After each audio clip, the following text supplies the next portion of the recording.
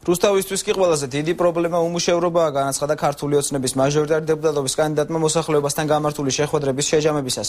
სვია ძიძიგური ამჯერად მე-17 და მე-18 მე-19 მიკრორაიონებში მცხოვრებ ამუშევლებს შეხვდა. რუსთაველებმა კანდიდატთან სოციალურ პრობლემებზე და მოუწესრიგებელ ინფრასტრუქტურაზე ისაუბრეს.